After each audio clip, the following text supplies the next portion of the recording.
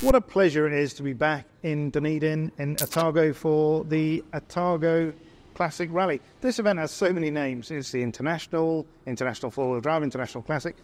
It doesn't matter. These boys are here for one reason, one reason only. Kris Meeke, Brandon Semenuk. Great to see you boys here. Tell us, how long have you been here, Kris? Uh, what, 48 hours now? I probably slept three of them. yeah. yeah, a bit upside down with the jet lag. Now I feel what Hayden Paddon felt like coming to every WRC rally. I can understand it, but it is about as far away as you can get from Europe. But uh, no, I've enjoyed it so far. We managed to get out on a test this morning. I had a drive in the car, and uh, you really Thoughts enjoyed on the car. I mean, that's what is the car like?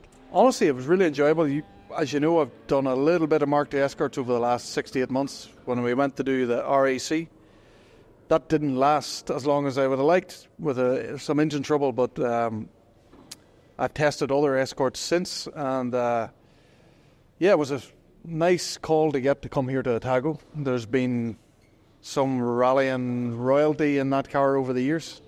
With Vatanen, Kankkunen, Waldegard, Mouton, Mouton, McRae's. Auriol, McRae's, Mikko Hirvonen, Matt Salzburg. So delighted to get the call and was intrigued to see what the car was like and was really impressed this morning. Honestly, okay, here the regulations are a bit different. You're allowed power assisted steering, which in an escort makes a big difference. Plus, they're a bit more open on the suspension. You can have a bit different dampers, a bit meatier dampers, a bit more oil in them. So it, uh, yeah, felt really, really good this morning. I enjoyed it. So let's see. Brandon, you've been here a, a little bit longer. Yeah, we uh, we came in a bit early. Me and Keaton uh, went went into Queenstown, which is kind of a you know a uh, main stopping point in New Zealand for me. Like obviously the mountain bike scene there is really big, and I got a lot of friends in that area. So we we got there Friday, and, and I got to hang out and ride for three four days and catch up catch up with some people I don't get to see very often. Obviously, last time I've been in New Zealand was like I mean four years ago, pre COVID. So um, yeah, it was it was great to stop in, and I'm doing probably a little better than Kris, feeling well acclimated at this. And uh, yeah, it's, it's nice to be in Dunedin. We've we've actually done some mountain biking and some filming here as well.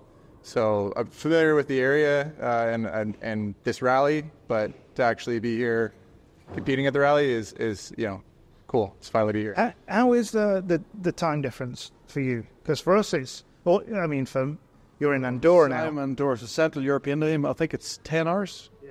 10 hours difference. 11 for me. Savage. Uh, for me, it's like four hours. Oh, really? A walk in the park. We were here during time change, so it might be like five or three. I can't remember which way we've gone, but um, yeah, it's like four hours. So I'm maybe, maybe waking up a bit earlier than I normally do and going to bed a bit earlier, but it's like it was so easy to adjust. Yeah. And the car, did you get a run in, in your car? You're in the Subaru Impreza, the H6. Explain a little bit about the car and what it was like. Yeah, I mean, uh, I didn't know too much about the car before we got here. I, I kind of understood what the build was. It's it's kind of like a Group N concept, uh, but with this H6 engine, it, you know, naturally aspirated V6, I've never got to experience. So that was that was definitely really unique and and uh, cool to drive. Uh, it's different than I thought. Like it, it, it does have like a little bit of low end power because of the you know the power is always there naturally aspirated, but it was kind of like it also had like a peakiness to it. So if you'd like you revved it way higher than I thought you would. Uh, just I don't know. Naturally, I thought you would be kind of one of those torquey lower lower rev engines. Um, but yeah, it was, it was, it was a cool car. It definitely takes me back to my early beginnings of just you know raw older Subaru chassis Group N spec, just you know minimal adjustment suspension, and, and it's like there's nothing crazy about the car, but it's so simple that it's just like all you do is get in and drive the thing. Like you don't need to think about much. Your car, the, the question I wanted to ask, there- there is the, the names that we've talked about. Does that, does it bring a bit more kind of pressure that, you know, that everybody's been in it? Yeah, um, I feel a bit strange being in that company of the, the Kankkunens and the Waldegards and stuff, but uh, yeah, just honestly, just to get the chance to drive the cars uh, is nice, and you know the the hospitality here is incredible, but it's the roads that drew me here. You know, I I never got the chance to do Rally New Zealand as a round of the World Championship. I was never in the series. It stopped in 2012, I think, uh, and I come on the scene with Citroen in late 2013, and then I finished in 2019, and it arrived back in 2021. So. Um, I missed the opportunity to drive here. Um, even though the roads in the north, I think, are a little bit more technical than in the south. Here in Otago, from what I'm told, it's very, very fast and high speed, and, but still got that lovely undulating terrain. And, uh, so yeah, I'm really looking forward to it, and that's what that's what really drew me here. But it's always my bucket list to drive a rally car in New Zealand. So uh, what better than a Mark II? Absolutely, and you, but you haven't been you were here 21 years ago, and I think it was 2003. It was the first event for the Zero Three Focus, and I was working at M Sport at that time as an engineer, and I had a handout with uh, Christian Loriaux designing that car, and uh, okay, I didn't have much design input. I was a CAD jockey on the 3D CAD system, and, but uh, that was a big project and probably the first major project I was involved in as an engineer back then. So I was really intrigued to see how the car. There was a big anticipation at that time to see because Loeb was dominating in the Xsara, and so myself, Glenn Patterson, and my brother flew out and we watched Rally New Zealand and then came down to the South Island for a week's holiday after it. But I remember we were even standing at the junction where Markko Märtin was leading the rally. The car was amazing.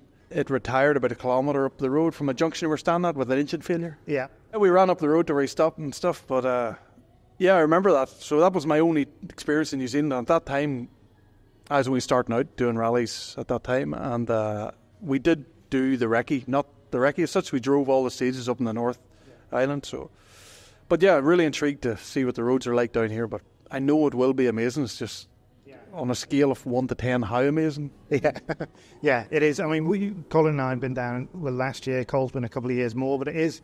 And like you said, hospitality is great. It's a beautiful part of the world.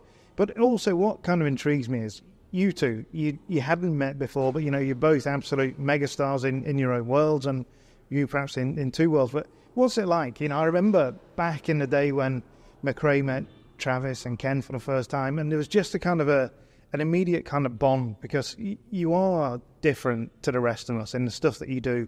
Wh- What's it like to sort of meet each other? You met for the first time this morning. Yeah, I mean, uh, like I, I didn't know if Kris was familiar with me, but I was very familiar with, with Kris and his driving, and I, you know, big fan over the years. Um, but I, I it, the more and more that like I come to new places and, and experience more motorsport and, and groups and cultures within it, the more I, I see like this mountain bike and motorsports like clash. Like it's it just seems to kind of go hand in hand. Like a lot of motorsport drivers ride mountain bikes or, or, or road ride or whatnot, and and then mountain bikers are very like like rally is like that's mountain biking on steroids. So it's there's just this kind of weird crossover. Even there, like the the worlds are so separate, but I feel like uh, there's that common connection between the two and, and respect, obviously. Uh, so I mean, yeah, Yeah, I I've seen it before. I have I competed with Nicolas Vouilloz Yeah, yeah. in the Peugeot Super 2000 back in my IRC days, and he was really rapid. He actually got a factory seat with Peugeot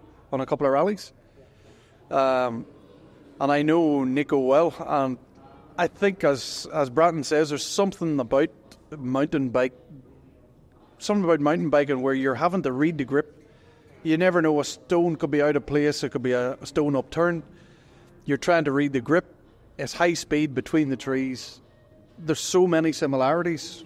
Obviously, it's a bike and a car, but I've seen it before where guys from the mountain bike world, you know, they excel in rallying, you know, and it's not even their first sport. Like Brandon's probably a late starter. I don't know what what age did you start rallying? Uh, I mean, I started when I was like 18 or 19, Huh. so not like super late, but I wasn't. I didn't like immerse myself in it because I, I had another career. I mean, I st- like I still do, but it was like at that point I didn't. I didn't have you know whatever little bit of extra funds I had that was getting put into rally, but it would be like one or two events a year for the first few years. I wasn't like always in the car and just being like you know getting the experience fast. It was kind of like a slow burn, and then.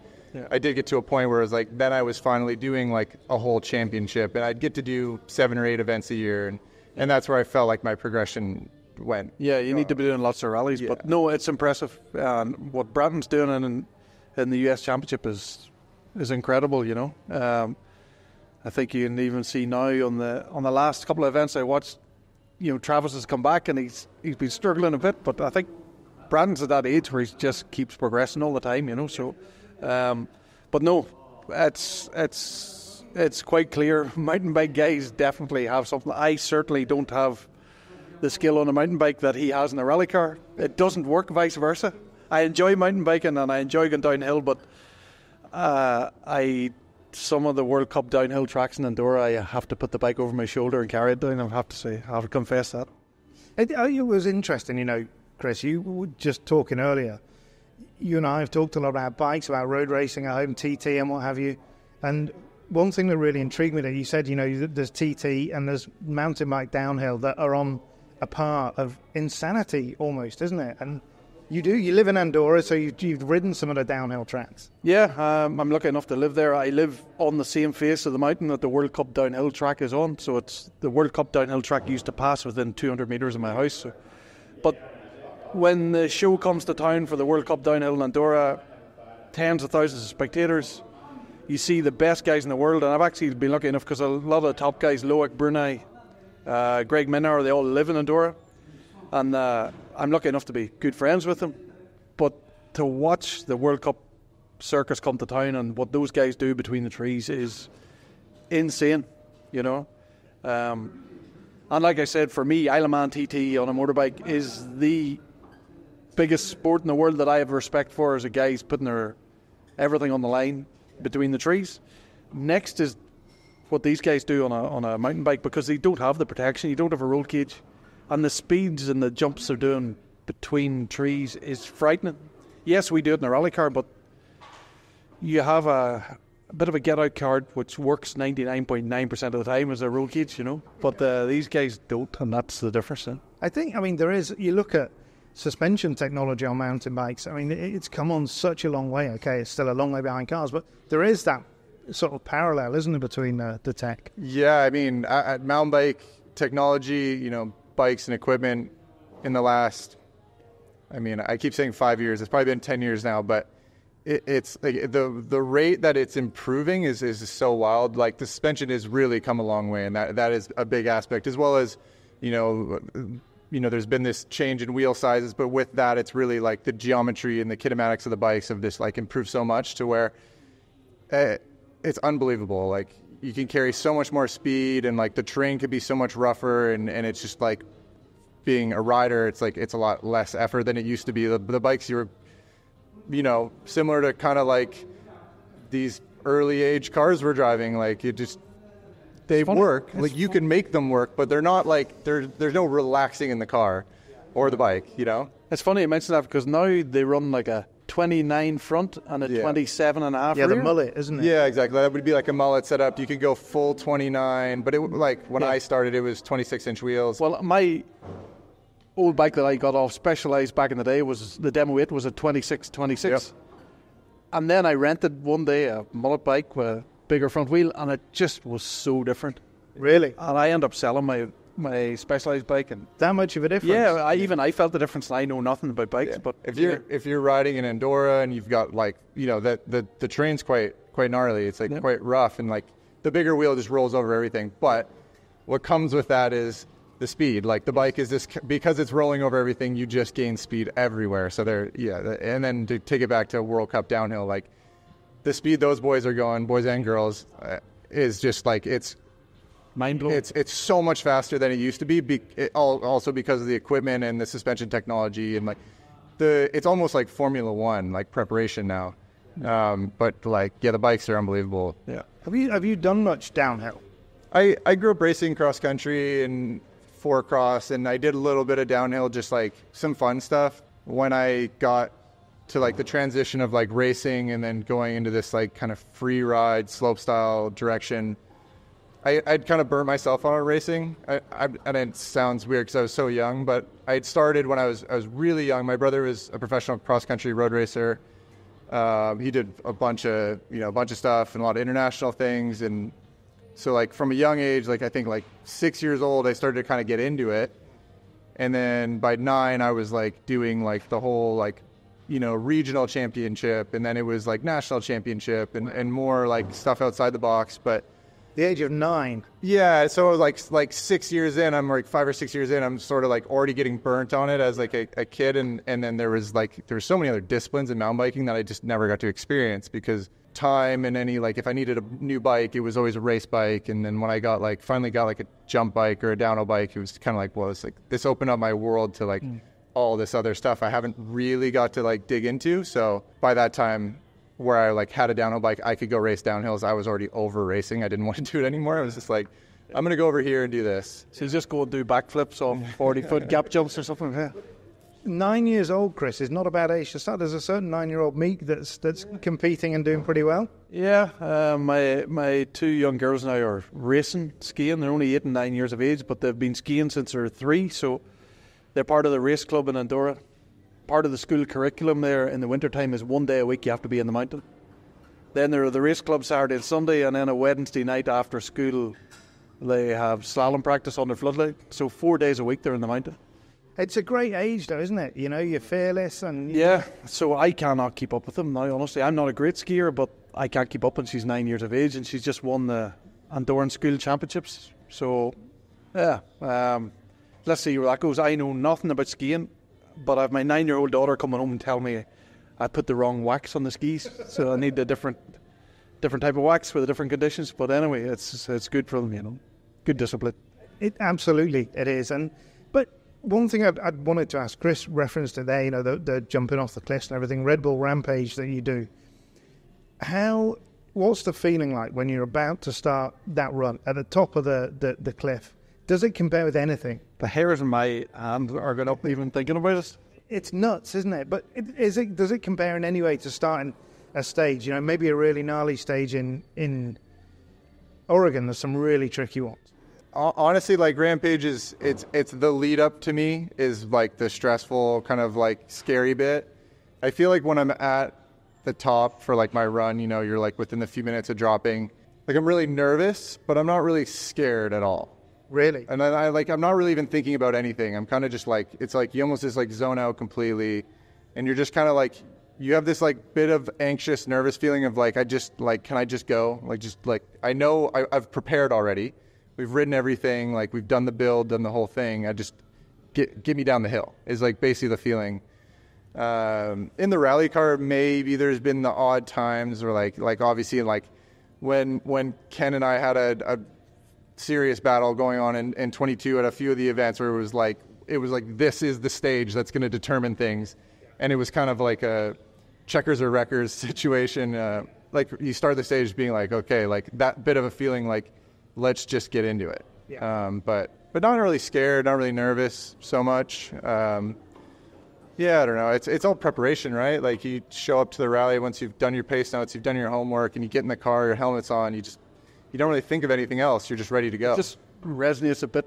I remember Finland, Rally Finland, Ouninpohja. unemployed, but not even unemployed. It's just going to the first stage Friday morning.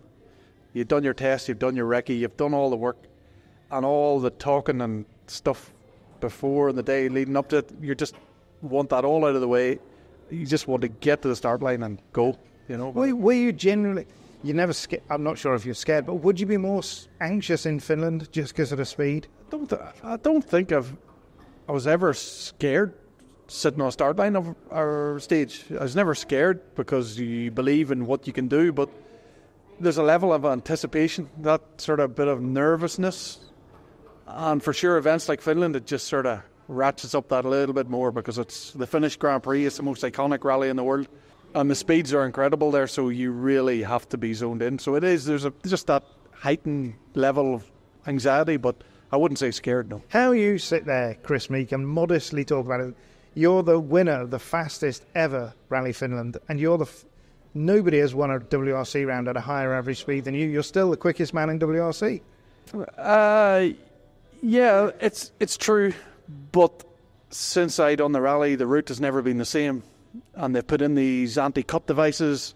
I have no doubt in the current Rally One cars, if they'd done the same route to the same road, they would eclipse the fastest speed, no question. So it's yes, it's a record, but um, I think the nature of the rally, trying to keep the average speeds down now, they've curtailed a bit the roads. So But it's been quick Poland and, and you know Latvia will be quick this year. Has been Estonia. But So I see this year they're going back to do the 33k on Ouninpohja. Yeah, yeah, yeah. The Yeah. normal way or the Yeah, reverse way? Uh, not so you'll come past the yellow house on the left. Okay, so the normal way. When I done it, it was the first time in 27 years that they ran it reverse. Yeah. So you do the Yellow House was a sort of drop off, wasn't it? Yeah, yeah. So, but anyway, You have to come to Finland. Uh, it looks amazing, and I'm, I've watched on on on a Poya stage like yeah. a bunch of times. It is just like it- unbelievable. From what I've So watched a few onboards of here, Otago, and it's not that different. Uh, Finland's probably a bit more technical, a bit more sharper elevation, Yeah, but quite wide in places like Finland. quite wide. But Finland can go into narrow roads, um, softer roads. Um, The newer versions of the rally seem to get more technical. Yes. Yeah. Yeah, but within the, they cut off into the real narrow sections to bring the average speed down and stuff. But the here, when I watch some of Hayden's on boards, which I wish I hadn't have done, because it just looks insane, and he's so perfect lines everywhere. He's done. He obviously knows the road so well, but uh, it was impressive to watch. But here's like a, a tamer Finland, but as fast and as challenging, but it just hasn't that real technical jumps, big massive jumps you do in Finland. But yeah, the roads are quite similar here, but just everything's a little less aggressive. Just to whiz back momentarily to, to Rampage and, and the difference, but one thing obviously with, with competing in rallying, you've got a co-driver next to you telling you. How difficult was it to to remember everything when you were at Rampage? Because you you pick you pick out your route and everything, and is that was that element of having a co-driver talking to you now? Is that quite different when you're used to just doing your own thing on a bike? Uh, yeah, I mean, I think notes and co-driver and the whole th- all that was like like when I started rallying, I was like, it was hard to wrap my head around because it was just like if someone was yelling at me while I was riding my bike, it would just throw me out. Like I wouldn't, I would be like, shut up, go away, you know. But in a rally car now, it's like it's like I can't get in the car. It's weird when you don't have someone calling notes. Like it's it's, a, it's a weird sensation. Like even today, like spin a couple laps, it's me and Keaton, and then we do some meteor rides, and you're like. I don't remember the road at all until you get you set off. You're like, oh, I know what I'm doing, but but it is a weird like how much you rely on the pace notes and and, and listening to to the co-driver. It's uh, it's strange, but the rampage is different because we're we're covering so much less ground. Um, and What's a run at Rampage? It's like minutes? 45 seconds, probably 45 maybe a minute, depending on like Okay. how direct your line is, or if you have like a a traverse of any sort. Yeah. But you know, there's there's typically like maybe six to ten features in your run with some like kind of connecting trail. But you've you've built it all yourself. You've been there nine days already. You're like you you know it like the back of your hand. Like there'll be little rock stacks on the lip to like show you exactly where to go and everything. So like it's like you've kind of got your You have your recce. your recce's already Yeah. placed. Yeah. Yeah. Yeah, but it it, it is quite remarkable. But I, there's a, a, just a few questions that I'd, I'd kind of prepared here. Kris, we'll start with you. Who was the, who's had the biggest influence on your career? I think it goes to that question. Everyone knows my association with Colin McRae back in the day. Um, Colin was my idol when I was a kid growing up. Um, funny, we were chatting about the other day. I remember, I think it was, was it Donegal Rally or was it Circuit of Ireland Rally? Was on the same time that Colin won. His, no, his first ever rally in New Zealand was first ever World Rally, 1993. That's right, because Jimmy was at home because Alex. Jimmy was on the Circuit of Ireland, and I was there in a chase car with my dad. He was supporting Bertie Fisher, and I remember coming off the end of a stage, and everybody was cheering and dancing up the road because Colin had won Rally New Zealand, and that was 1993. So I was only 14 at that time. So, um, yeah, I never knew then that I would even drive a rally car. I never dreamed I would drive it in the World Championship, let alone win World Rallies. But it was only for one reason why Colin McRae chose to get behind my career when I was younger, and he put the foundations in place for me to move from national championship into the World Championship. And without that stepping stone and his, wouldn't say guide, his guidance, he, he never sat in a rally car with me and told me what to do, but he, he provided the footsteps and the financial backing for me to break through the World Championship. So that's the hardest steps to take as a driver. Um, without that opportunity, I wouldn't have been where I've been and wouldn't have had the career I had. So I owe everything to Colin. And, you know, it's, it's very straightforward for me to answer that question. Colin McRae certainly was the biggest influence in my career. You know? Bikes or cars, but top Colin McRae if you can. Hard to do, but uh, Yeah, I mean, I I'd have a hard time really pinpointing one person, um, and I feel like there there will continue to be people throughout, you know, this this endeavor and journey and and uh, motorsports that that will help me out immensely. But I, it definitely started with with Pat Richard uh, early on, just through a, a familiar connection we had basically I, I rolled into his shop. It was the first time I'd ever been in like a, a, a, rally shop in my life, motorsport shop for that matter. And I was passionate about rally already. I'd, I'd watched it. I had a, you know, I'd bought a Subaru because I, I wanted to go rally, and it was fun the, on the forestry roads near my house. And but it wasn't a rally car, so I went in there. A buddy of mine's like, you, you should just go check out his shop. Meet Pat. You know, he's he's Canadian Subaru rally driver. And uh, I walked in, literally that day, he took my stock car and gave me a a race ready rally car. So uh, they, it, it, needed some preparation, but he's like, he just took the keys and he's like, he's like, I'll hand you a, a brand new, ready to go. It was, it's almost what I'm driving here in Otago, but it was, was an 02 bug eye production spec, like bone stock, just had, you know, skid plates, wheels, tires, some suspension, uh, but, but get ready to race. So I was like, that was amazing. And then, so he built this car over like the matter of like six months. And then, in that time, uh, one of my really good friends, another professional mountain biker, lived right across from this chalet. And one of my sponsors, there's a someone within the PR department that loved rally, loved motorsports, and it was Crankworx and it's you know big mountain bike festival. And he's like, he basically like pulled me away from practice. He's like, you got to come with me. He's like, we're we're just we're gonna go over here for 20 minutes. And he took me to the chalet, and I'm like, I know where I am. My buddy lives like right right there and they're like, yeah, but like this guy lives here. And I was like, yeah, yeah, here he's like into cars or something. And so he takes me upstairs and there's PD- PWRC World Championship trophy, a bunch of like uh, British National Rally Championship trophies. And I was like, so it was Martin Rowe. Yeah. And then whatever. Skid. Yeah, yeah, exactly. Um, and so we, we got chatting and he was like so stoked that I was into rally. Gave me a bunch of like old in car from like British Rally Championship like in the Megane and stuff. And then uh, he's like, the day you get your car, he's like, we're gonna go rally. I'm like, sure, you know, like not gonna not gonna question that. And so the very first day I ever sat in a rally car was with Martin Rowe. And he's always been really helpful. Like anything I've needed, any questions, and, and just kind of guiding me uh, the best he can, or just, just he's just genuinely interested and, and wants to, you know, he's always wanted to see the best for me, I, I believe. So that's been really cool. And then, I mean, to, to go another step further in that kind of a, uh, my rally endeavors is, uh, you know, when Pat kind of moved out of his seat in, in the Canadian Rally Championship, he brought in Antoine L'Estage, who I was familiar with already.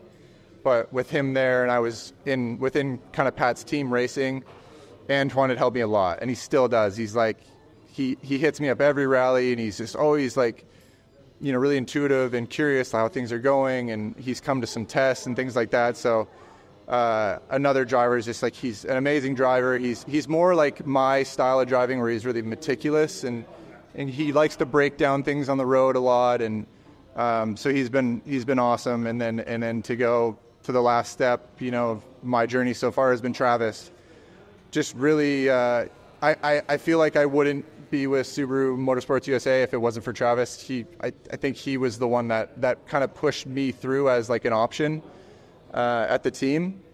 Uh, and just, you know, from, from like day one, just being like a, an open book of like, this is, he's like, he wanted me to get up to speed so that he had like competition and, and he could improve himself. Like if he could learn something off me, like where maybe I find some time on a stage and he's like, hey, now I know I can go faster there. Like that was like he was he was really clever in that. He is really clever in that sense of where like if he leveled up his teammates' competition, it leveled up his competition, and then and then we could be like the dominant team. And yeah, I've seen Travis work uh, when I done uh, races in Nitro, Nitro Rallycross. You know, I've been a fanboy of Travis all my life, and I met him a few times. He's you, your kind of guy, isn't he?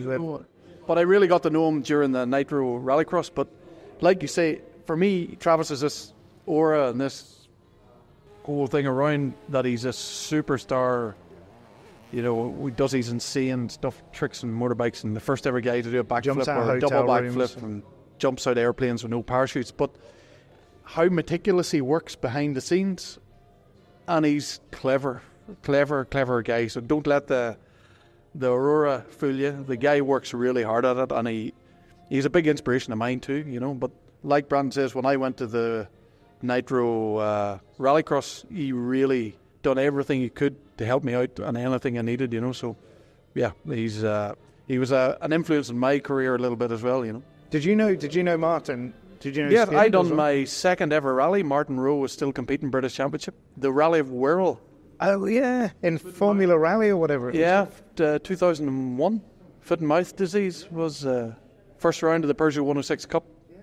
And Martin Rowe was a factory Peugeot driver. Renault, Peugeot. Maybe he was Peugeot, then he was Renault with Robbie Head. yeah, and, I don't I forget which car. So yeah, I done my first ever rally with Martin. He's a good guy. Yeah, Yeah.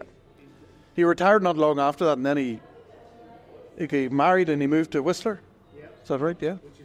Yeah, he's still he's still in Whistler, so I'll, Yeah. I'll drop by his place every once in a while. I'll have a Yeah. cup of tea and just shoot the. Yeah.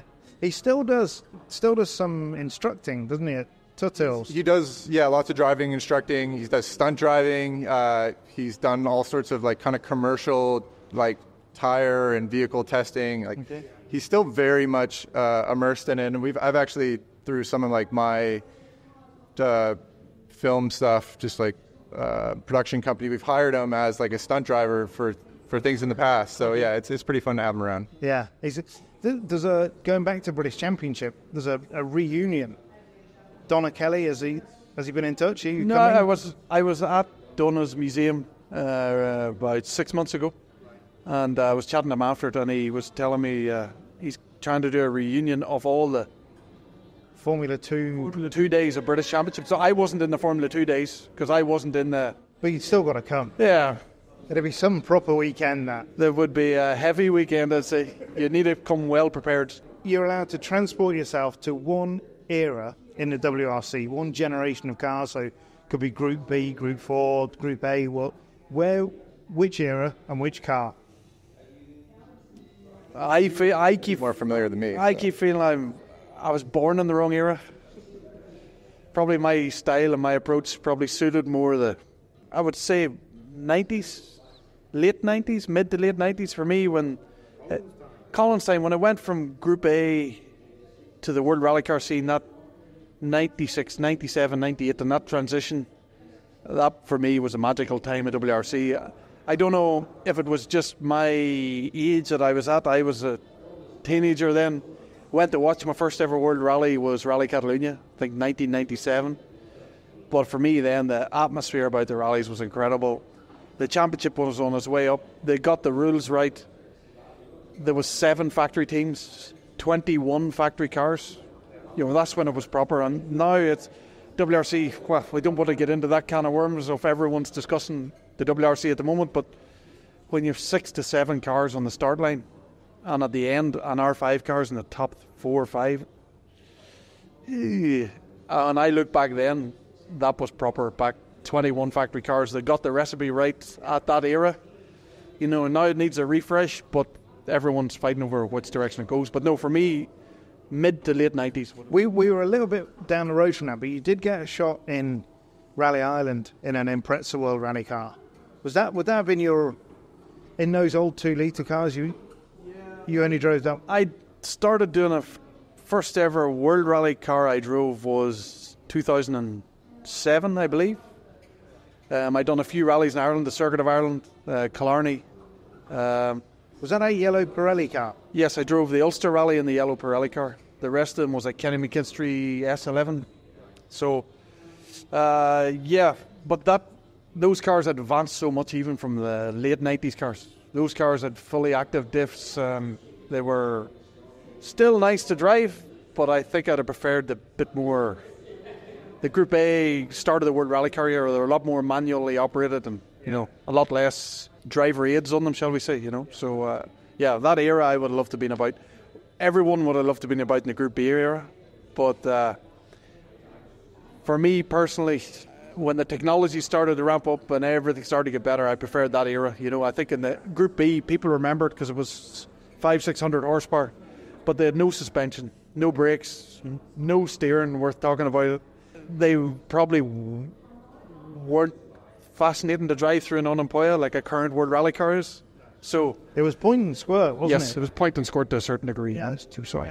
Over to you. Uh, yeah, I don't know. It's uh, that's a tough one. I mean, good point, obviously, about the manufacturers. Like, I don't, I've never got to experience the kind of Group A cars so much, but I would say, like, for me, the early 2000 era was was just really spectacular to watch, and there was still like a big manufacturer present at the time, and each manufacturer had you know two, three drivers, and it seemed like that's when like things started to become a bit more like serious, but like it hadn't reached this point of where everything was like a formula yet. Like people were still figuring it out, and there was lots of things moving within the sport, and the cars were advancing, but there was no like you know there was so much to learn still, even though it looked very proper. But uh, the cars were spectacular to watch. There was you know so much action, and and the boys were just always sending it. Like there was just a crazy era. Yeah. I it absolutely it was. I think uh, the thing you know everybody becomes you know obsessed with Group B because it was so emotive and you know there were such tragic times as well as everything else. But both of you would have taken seconds a mile out of those cars, and it, it kind of I remember having this conversation with you that the speed this it's the suspension isn't it that's changed so much and, and brought the speed up. suspension and aero and brakes and they can, you can only drive a, a powerful car fast if you have good brakes. You know, so and the brakes have improved so much and everything's just went uneven. I see it now doing all the development work with Skoda and the R5. Like we, we go to test on stages and for me it's as fast as when I started in the WRC in a in a 2013 World Rally car. The speeds of the current R5s are probably similar, if not far away. So, yeah, obviously the Rally One cars now have moved on again, but yeah, that's just progression. Technology is always just progresses all the time, you know. Yeah, no, it absolutely does. Uh, so now you've got one gallon of fuel left in the whole wide world. Where are you going to put it? Where are you going to drive? What's that? What's that one special bit of road that? I know, kind of got. You only idea. allowed one gallon. Well, all right. I don't think one gallon would take me through on Where are we in? no, it would be Ouninpohja for you though. My last fill of a tank. Yeah. Ouninpohja. What is it? That- I mean, I, I've driven that road a good few times, obviously very slowly. It is, you know, there's some different bits to it, isn't it? You get to the junction and you turn left and it changes there. You've come down the steps and then Kakaristo gets narrow. It, it, it's just the whole thing. Yeah, and it's such an iconic stage. I remember watching it like in the 80s when I was six, seven years of age. I remember watching Group B stuff, doing all the Finnish stages. But like after you've done world, after you're in the World Championship scene for a few years and you've recce'd it a few times, you've done it quite a few times. Everybody knows every inch of every stage, but especially on So to make a difference is there, to make a difference in there is always difficult because everyone knows it so well. But uh, it's such a special place. Such you have to get your lines millimeter perfect everywhere because you're taking off in sixth gear, 190 kph, and if you take off six inches of line, you're landing a meter and a half. 50 metres up the road, you're landing a metre and a half in the ditch if you don't get your takeoff speed right, you know. So it's threading that eye of a needle at, at the speed you do. It, it just makes it so special, Hans. I, I probably the, the speed I was driving in the rental car, I could never figure out the famous Sordo and Gardemeister rock on the left. Would that have been a jump way back that they just got wrong? How would you get that The one? stage, you speak. I remember speaking to you. Had the year I won Finland was 2016. He turned up to my test, and I was Juha Kankkunen, and I was chatting to him, and he said the rally's changed so much because over the years, as it snows in the winter times and the snowplow takes the snow away, it scrapes a little bit off the crest. So back in the days, it used used to be a lot more aggressive on the lips of the jumps, and every year they just get a little bit smoother. So couple that with the suspension technology improving all the time. Now it's you, yes, there's a few jumps in it, and you need to be very careful because the car, even if it goes light, you don't get that feedback off the steering. But um, yeah, it's probably become less aggressive the road over the years. You know. But Yellow House is still. Is that flat? Is that absolutely flat out? No, you need to. Well, you need to lift and go back on the throttle to get the right trajectory off the jump. Because if you just go flat out, you'll land and do a Richard Burns and land, and he done the oil filter, I think, on the front. Yeah. And crush the turbo pipe as well. Yeah. So, no, you have to do a little dab, but it's flat out. The year the year I done it the opposite way was more scary because it's a drop. It's a drop jump, And you look like you fly straight and you're coming on about a k and a half before it. You're on the rev limiter, so you're coming out of it on the rev limiter as a drop jump into. Uh, yeah. Wow. Anyway, it's good. So your last fill of gas, where are you going with it?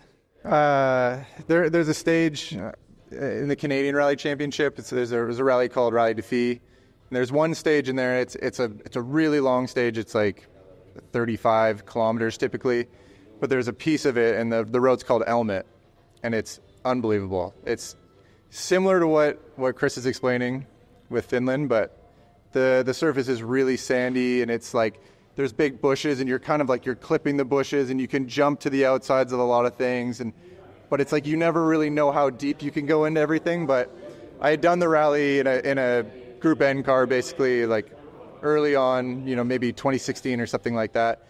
And then we'd gone back and we, we did it during, we, we tested there the new 23R Subaru. Um, and it was just driving that car on that road was so much fun. Like that was the, that, that's the most fun I've had in a car like to this day. And so if we ever got the chance to go back and do that again, I would Did 100%. you want to go? Did you ask to test it the was, it was my, it was my request to go do this these roads not just that road in particular but that, that was one road was like we really wanted like something that was going to test the car like because the road develops a lot it, you know it's sandy and it gets rutted and then the rocks come up and it's there's a lot of jumps and like there's a lot of uh, angle to the car like when you're driving like you're coming over the jumps and the car's always sideways or like you know you're like stuffing it into the ruts and there's a lot of like steering input and so it was just a good place to like really test test the durability of the car and what what the performance would be like and we went there and it was like it was unbelievable yeah So you need to go to Ouninpohja and I need to go to Canada. 100%. the feeling of the car in the air jumping is that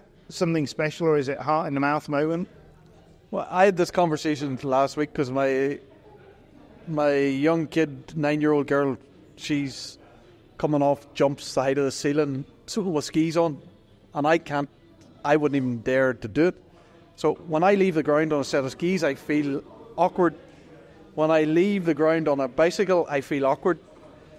When I leave the ground on a car, I feel completely at ease. Really? Yeah. So for me, jumping in a car is no problem, but what these wackos do on a bicycle, I can't fathom. You know, you, can Yeah. obviously ski, yeah i grew up i grew up in whistler so i grew up skiing You can jump easily on skis. yeah yeah yeah yeah, yeah. yeah. So I can't do that. I'm, I'm not comfortable when I leave the ground. I don't know what to do. But uh, I mean, for me, like jumping a car and jumping a bike, it's like it's the same feeling. If I'm going too big, then that's the only time I'm like, you know, have that hard mouth moment. But it, normally, I'm like it. Jumping the car is like it's. It feels so chill, and it's like the cars are so good now. They're like they land and it's smooth and. And it's just quiet, isn't it? It's yeah, it's like exactly everything goes like calm for a second. Um, but I really like the the it's the like when you're jumping the car, but there's like more dynamicness to it. Like if you're sideways or there's input or you're landing and you know there's like something like a, a hook to catch or it's like that's when like rally gets so good. Yeah, just a straight, flat jump It doesn't do anything. It's is nothing not for me. yeah. that exciting. You Yeah. need uh, landing into a corner and how deep you can land. You're into a using the corner. brakes in the air a little or like something, you know, just to like place yourself and yeah. And no, I mean, those features are the iconic ones aren't it. The sideways, over the jump.